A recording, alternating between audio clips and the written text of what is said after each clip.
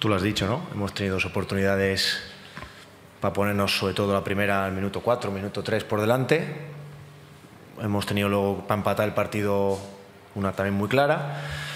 Y a partir de, pues bueno, cuando en esto de fútbol la, eficacia es la que manda o la pegada es la que manda y ellos en la primera que llegan, Tocheta hace un golazo prácticamente sin haber hecho nada ellos y tú has tenido dos, tres ocasiones, dos sobre todo muy claras y tienes el dominio del partido y de la nada te encuentras un resultado adverso, pues sí que al equipo le ha hecho daño, ¿no? Creo que ha seguido jugando 55 o 53 minutos muy buenos, creo que el partido era nuestro, por supuesto lo viendo con ocasiones porque tiene capacidad para generarlas y, y al espacio corría bien y el segundo gol pues nos ha, nos ha limitado.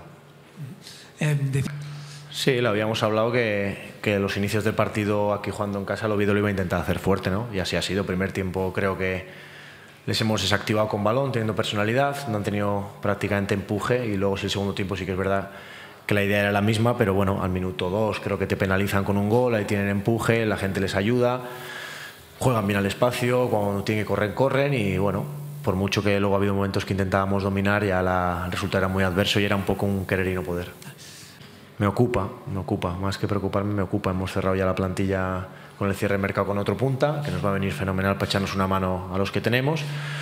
Y lo que tenemos que hacer es entrenar más, intentar mejorar esa, esas finalizaciones, esas ocasiones que generamos, porque bueno, al final llevamos únicamente tres jornadas, pero creo que el hecho de llevar un gol a favor solo con todas las ocasiones que hemos tenido es bastante mejorable y vamos a, a seguir empeñándonos en ello, ¿no?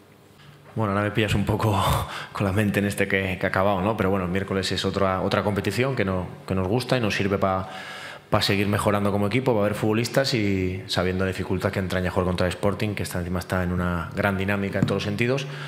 Pero vamos a ir a por el partido, ¿no? Intentaré que la gente que esté más cansada descanse, que juegue gente que ha participado menos, pero bueno, al fin y al cabo un once competitivo seguro.